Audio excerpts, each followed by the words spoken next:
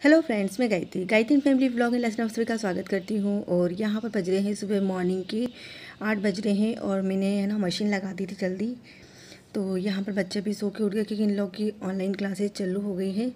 तो बस ये काव्य सो रही है और इसका नौ बजे, दस बजे सबमिट करवाना है। जो इसने वर्क करा है वो और फिर इसको न्यू वर्क मिल जाएगा। तो बस इनको सो के उठाया मैंने कि सूट जाओ तुम लोग। तो बस पूरा बिस्तर फैला हुआ देख लीजिए आप और ये बस पड़ी है काव्या इस तरह से। तो बस मैंने मशीन लगा दी थी जल्दी तो कपड़े धुल गए और इनको थोड़े बहुत कपड़े रह गए, जो पोछे वोछे हैं ना, वो भी मैंने इसमें डाल दिए थे मशीन में। तो बस उनको सुखाना बाकी रह गया है और मेरा नहाना भी हो गया है। तो बस ये देखिए, बस इसमें पोछे पड़े हैं, इनको निकाल के मैं पटक देती हूँ सुखाने के लिए।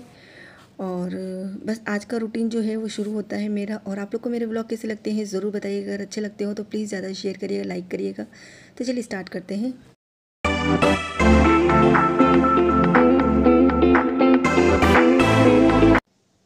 पर मैंने मशीन को हटा दिया है और पीने का पानी आ गया था, नल आए थे। तो पीने का पानी भरा है तो यहाँ गीला हो गया था तो मैंने कहा इसको पोज दूँ पहले, उसके बाद में फिर भगवान जी को अगरबत्ती लगाऊँगी, दिया लगाऊँगी। तो पहले इस पानी को पोज देती हूँ क्योंकि ये फिर पूरा बाहर बहेगा और फिर गीला हो जाएगा ज़्यादा। बारिश की वजह से वैसे ही गीला है तो मैंने कहा कौन ज़्यादा और गीला करे? तो इसको अंदर ही लेके और इसको पानी को निकाल देती हूँ। उसके बाद में पूजा करूँगी तो इस पानी को निकाल देती हूँ, फिर मिलती हूँ मैं आप लोगों से।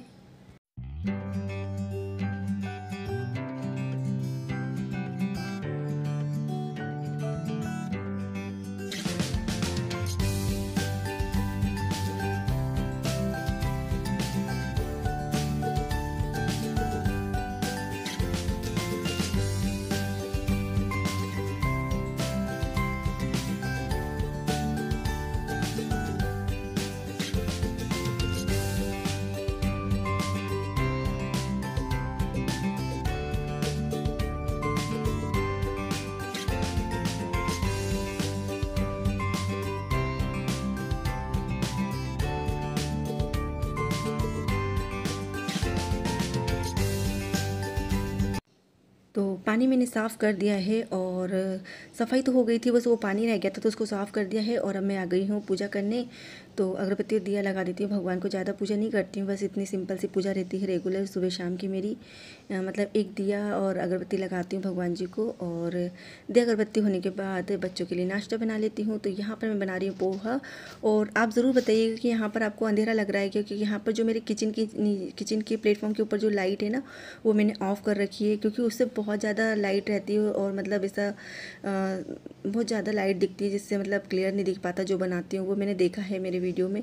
तो आप बताइएगा ये सही लग रहा है क्या? इस तरह से इतनी लाइट सही लग रही है क्या? तो फिर मैं उसको नहीं जलाऊँगी और वो मेरे अपने जो हाउ टू मेक चैनल ना, उसके लिए जला रखी है क्योंकि उसके लिए लाइट ज़्यादा चाहिए रहती है रेसिपी लेकिन उस समय कैमरा एकदम फोकस रहता है रेसिपी के ऊपर, लेकिन अभी फोकस रहता है, पूरा थोड़ा बहुत आसपास का भी दिखता है, इस वजह से थोड़ा रेसिपी पर पूरा फोकस नहीं रह पाता है कि हम क्या बना रहे हैं। और हाउ टू मेक पे तो पूरा फोकस मैं रेसिपी पे ही करती हूँ और यहाँ पर मेरी जेठानी आई हैं फिर से तो बस हम लोग बात कर रहे हैं। तो इस तरह से वो आ जाती हैं बस मैंने आपको बताया था। तो वो आ जाती हैं थोड़ी देर बात कर लेते हैं हम लोग और फिर वो चले जाते हैं। और अभी है ना वो भी ढोलक बजाना सीख रहे हैं। अभी लॉकडाउन में उन, उनको मैंने ना करवा चौथ पे ढोलक दिया तो उनको ढोलक का वो शौक था कि मुझे ढोलक सीखना है। तो मैंने कहा मैं ही दे दूँगी आपको करवा चौथ पे। तो करवा चौथ पे मैंने उनको गिफ्ट किया था ढोलक। तो अब उनको मौका मिला है सीखने का तो बस वो सीख रहे हैं और ऑनलाइन सीख रहे हैं। ऑनलाइन क्लासेस चलती है। जो मेरे मतलब मेरी नंद के हस्बैंड है ना, वो सीखे ऑनलाइन चलाते हैं क्लासेस। तो यहाँ पर मेरा नाश्ता बन चुका है, बच्चों को नाश्ता दे दिया है और मैं बनाऊँगी गिलकी की सब्ज़ी। तो गिलकी और तुरई में बहुत लोग कंफ्यूज है। हमारे यहाँ तो गिलकी को गिलकी बोलते हैं और तुरई अलग होती है, उसको तुरई बोलते हैं। तो किस दिन मैं दोनों सब्ज़ी साथ में लूँगी और फिर आपको बताऊँगी क्या डिफरेंस है दोनों में। और उनके स्वाद में भी डिफरेंस रहता है, लेकिन सब लोग तुरई और गिलकी को एक ही बोलते हैं, तुरई। तो जो बिहारी रहते हैं ना बिहारी लोग, वो तो तुरई बोलते हैं सब लोग। लेकिन हमारे एमपी में तो गिलकी और तुरई दोनों को अलग अलग बोलते हैं। तो यहाँ पर मैं छील लेती हूँ और इससे नाश्ता नहीं करते, बना था काव्या से तो इसको मैंने नाश्ता करवाया था। और मतलब रखे रहते, बच्चों की आदत रहती ना कि खुद नहीं खाते, अपन खिलाओ तो ही खाएँगे। तो बस वही उसको मैंने नाश्ता करवाया और यहाँ पर वो कर रही है, कह रही है कि मैं भी इसको छीलूँ, मैं भी काटूँ तो मैं उसको बोल रही नहीं, मत करो। और सब्ज़ी काटते काटते यहाँ पर भुट्टे वाला आ गया था तो फिर मैंने भुट्टा लिया। मेरी जेठानी ने ऊपर से बोला कि भुट्टे वाला, क्योंकि ये सब सब्ज़ी अब्जियाँ मैं ही लेती हूँ, वो नहीं आते, ऊपर से नीचे आएँगे, फिर लेंगे। तो मुझे कॉल कर देती तो फिर मुझे लेना पड़ता है। और ये भुट्टे ले लिए हैं मैंने, नींबू लिए हैं, एक किलो नींबू लिया है, भुट्टा लिया और धनिया लिया है। तो सब्ज़ी छोक देती हूँ, मैं सब्ज़ी की तैयारी कर लेती हूँ, क्योंकि टाइम हो रहा है, साढ़े ग्यारह बारह बज रहे हैं। तो यहाँ पर मैं ये तेल डाल देती हूँ, और गिलकी की सब्ज़ी, आपको पता ही कैसे बनाते हैं। जिसको भी आप तुरई बोलते हैं गिलकी हम लोग बोलते हैं। गिलकी और तुरई दोनों ही अलग होती है वैसे तो। तो यहाँ पर मैंने ये पोहे के लिए लहसुन वो प्याज और वो काटे थे मिर्ची तो उसी को डाल दिया है। और लहसुन डाला है थोड़ा सा तो वैसे तो हम लोग लहसुन से छोकते हैं इसको, लेकिन मैंने कहा प्याज और ये रखा है तो इसको भी डाल देती हूँ। और यहाँ पर इस बार मैंने गिलकी को एकदम बारीक बारीक चॉप करा है। तो इससे क्या जल्दी वो घुट जाएगी और मतलब एक जैसी हो जाती है ना, घुट जाती है, वैसी हो जाएगी अच्छे से और वैसी अच्छी लगती है खड़ी खड़ी तो गंदी लगती है और मुँह में घूमती रहती है, चबाते रहो चबाते रहो और घुटवा तो अच्छी लगती है। यहाँ पर मसाला डाल देती हूँ मैं, नमक डाल के मिक्स कर दिया था, उसके बाद मैं मसाला डाल के मिक्स नहीं करती हूँ, फिर गिलकी को सॉफ्ट होने देती हूँ, पकने देती हूँ, उसके बाद मिक्स करती हूँ, क्योंकि अगर अभी मिक्स कर देंगे ना तो वो फिर चेटने लगता है। तो इस तरह से मैंने ढक दिया है और यहाँ पर मैं साफ़ कर लेती हूँ, धनिया तो इस धनिया को मैं साफ़ करके रख दूँगी और भुट्टे के तो मैं भुट्टे की भजिए या किस बनाऊँगी क्योंकि वही ज़्यादा पसंद आता है।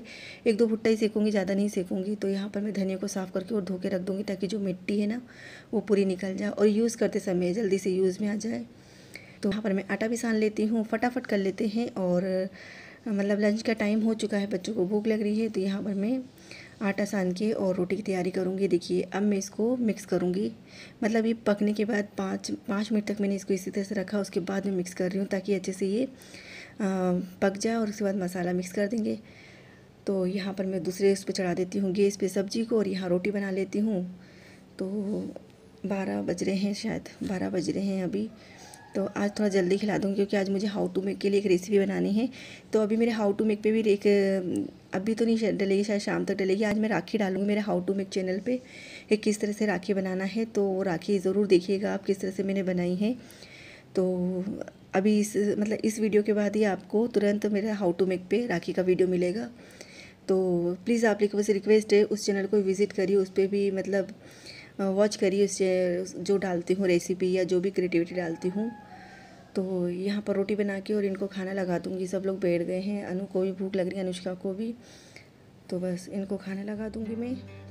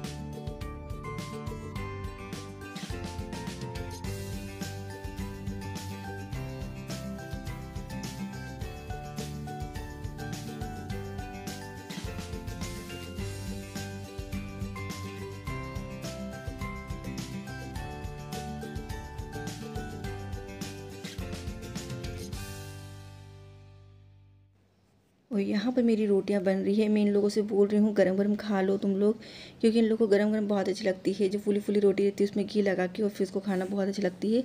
तो मेरी रोटी आधी तो बन चुकी है और मैं इनको कब से बोल रही हूँ, खाना खा लो, खाना खा लो। लेकिन सुन ही नहीं रहे हैं और अभी जब वैसे ही जैसे ही रोटी का एंड होगा ना, वैसे ही कहेंगे, मम्मी गर्म गर्म रोटी बना दो फूली फूली बना दो कड़क कड़क बना दो। तो फिर मुझे आता है फिर गुस्सा कि जब से मैं बोल रही तब से नहीं सुन रहे हैं। और अनुष्का को जब से तो बहुत भूख लग रही थी, लेकिन अभी मैं कब से बोल रही हूँ उसको, लेकिन आ नहीं रही है लेने के लिए। और सब्ज़ी मैंने थोड़ी पानी वाली बनाई है क्योंकि हम लोग को पानी वाली सब्ज़ी ज़्यादा अच्छी लगती है। उससे क्या बच्चे अच्छे से खा लेते हैं और सॉफ्ट हो जाती है रोटी उसमें अच्छे से चूर के खाते हैं ना टुकड़े करके तो वो अच्छे से लगती गिल की और ये सी सब्ज़ी रहती है ना, उनसे अच्छी लगती है और इस तरह से मैंने गोले करके रख लिए हैं ताकि रोटी जल्दी जल्दी बिल जाए और इसके बाद ज़्यादा कुछ काम है नहीं मेरे को। सिर्फ़ जो भुट्टे उट्टे धो के रखे उनको साफ़ करके रख दूँगी अंदर तो फ्रिज में। और बस अब इनको खाना लगाऊँगी, बच्चों को, उसके बाद में खाऊँगी खाना। तो आज का ये छोटा सा ब्लॉग है ज़्यादा बड़ा ब्लॉग नहीं है। तो यहाँ देखिए, अब मैं इनके पापा को खाना लगा रही हूँ क्योंकि उनका ऑर्डर आया है खाना लगाने का। और रोटी फिनिश होने वाली है मतलब बनने वाली है पूरी। और बस इनको लगा देती हूँ। हमारे यहाँ तो इसी तरह से घी लगा के खाते हैं, आप बताइएगा। और मतलब मैं तो इस, मेरे मेरे यहाँ तो इसी तरह से खाते हैं। मेरी जेठानी तो घी नहीं खाती है क्योंकि उनको पता नहीं क्या हो जाता उनकी तबीयत ख़राब हो जाती है घी से। और यहाँ पर अनु को भी लगा दिया मैंने तो उसको चाहिए फूली फूली रोटी। तो देखिए अभी दो चार रोटी बची थी तो मैंने कहा, खा लो, चलो बना देती हूँ। और यहाँ पर मेरा खाना लग गया है, ये खाना पूरा बन चुका है और मैंने मेरा खाना लगा लिया है। तो सिंपल सा खाना बनाया है। तो आप लोग को मेरा ब्लॉग कैसा लगा आज का ज़रूर बताइएगा। बहुत छोटा सा और सिंपल सा खाना बनाया है। तो अच्छा लगा हो तो प्लीज़ ज़्यादा शेयर करिएगा लाइक करिएगा। इस तरह से बनाइए पतली गिलकी की सब और चैनल पे पहली बार आए तो प्लीज़ सब्सक्राइब कर लीजिएगा। बेल आइकन को ज़रूर क्लिक करिएगा ताकि नई वीडियो की नोटिफिकेशन मिल सके। फिर मिला थैंक यू